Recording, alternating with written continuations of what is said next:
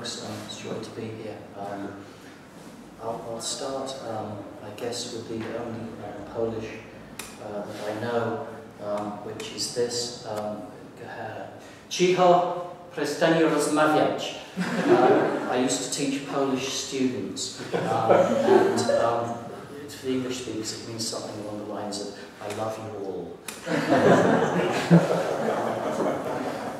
I'm going to read two poems. Um, first is from a book of translations. I translated Horace, um, the Latin poet. Um, there's a, a, a, marvelously sexist French um, saying about translation. Um, translation. translation is like a woman. If she is beautiful, she is not faithful. Uh, yeah, it's Paul, isn't it? So um, I'm going to read one poem from this book of translations. Um, it's the first in the series. the innumerable years full of knobbers and the transitory habits of murking are forming the roaring Bosphorus, Surtees' self-made minge of spinach, and Upton on 7. Edgar and Johnny clink to the raider's spunk, more splendid than the Starkey's thin pamphlets and halitosis on the neck of translations. You know how no cincture of ropes worry about you. Now I long to regurgitate burn stars and the sailor's of KY the seeps of Winger's wax shall worm to no other women, I, more runched against than runching. Um, there was a long review of this book, um, very generous review, um, which talked about the last line, which, which goes, more runched against than runching. And um, it talked about how the runch is the ridge of skin between the penis and the anus. And I didn't know that. I, uh, my Japanese wife um, when she tries to say more lunched against than lunching, um, says more runched against than lunching. So um, that's that. Ranching? Runch. Well, I don't know about runching. Ranching is about um, but, but, well, well, good question. Yes, let's not bring cows into the penis and the anus, I suppose, is where we should stop. Um, I'm going to read um, my next poem. It's the last poem I'm going read. It's in 72 sections. And uh, it's, it's uh, one of my own poems, but it will hopefully be apparent while I'm reading it. Um, the title is this. When asked about the difference between herself and Gina Lollobrigida, Sophia Loren replied, It is like the difference between a horse and a donkey, but I am not saying which is which. Advices for translators in 72 parts.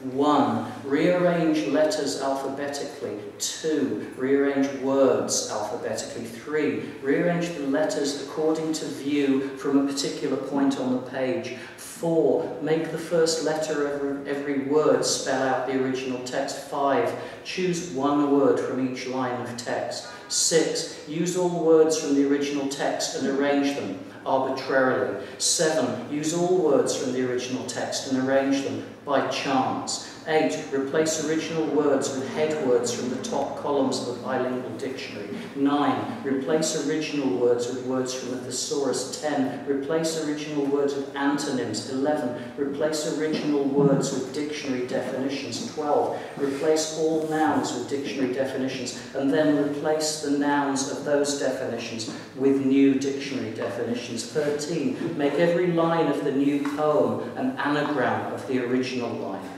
14. Translate by playing Scrabble, starting with a key phrase such as the author's name, and then using the new words to make a poem. 15. Replace the original noun by moving forward or backward seven places in a dictionary. 16. Translate the poem without using the letter E.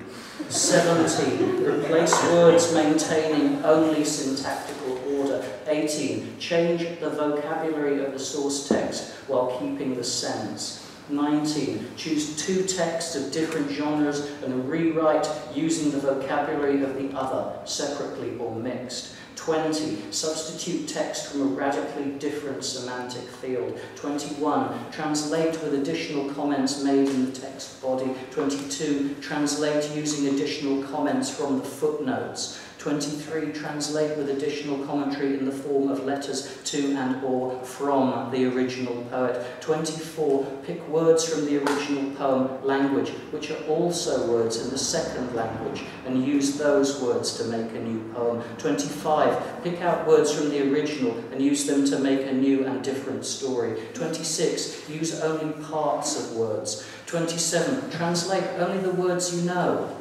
28. Take lines and make a coherent poem, putting the leftovers at the end of the line in brackets. 29. Use the translator's comments, responses and questions in the new poem. 30. Modernize and clarify the old poem in the new text. 31. Change the location of the original poem to, say, Vancouver. 32. Use pirate, cowboy or surfer dude language as the basis for your translation. 33. Write the poem from memory. 34. Read multiple translations. Derange the senses and then write what remains without changing it. 35. Take the translated remembered poem and revise it. 36. On discovering errors in translation, keep them. 37. Deliberately mistranslate a poem. 38. Turn the poem into its opposite. 39. Write what the poem hides. 40. Translate with a different and particular focus as if that was the original poet's intention. 41. Replace consonants with vowels and vowels with consonants. 42. Keep the source vocab but reorder it. 43. Type the words into spell check. 44. Look up the words of the original language in a dictionary of the second language and replace them with the closest equivalent. 45. Translate what you understand and make up the rest. 46. Make a list of words in three columns arranged A to Z with one column for nouns, one for verbs and one for adjectives and then replace the corresponding words in the poem with the same letter and type. 47. Translate using Google search upon a phrase from the original poem, plus one other key phrase of the translator's choice, as in Emily meets Angie Dickinson. 48. Use any online translation machine repeatedly or however you see fit. 49. Substitute vocab using deliberately perverse or whimsical choices. 50. Paraphrase extremely large chunks of text. 51. Use sounds of the original poem to suggest anything that the translator can imagine. 52. Translate all lines using lines by other poets as their translation. 53. Transcreate using Haroldo de Campos as your model. 54. Write an entirely new poem and call it a translation of the old one. 55. Write a poem knowing only the title and line count and then collage with the source text. 56, where the sounds of the original suggest words in the translator's language, use them to build a new poem. 57, misremember either deliberately or unintentionally. 58, translate a poem heard while running a shower. 59, translate through glasses smeared with Vaseline.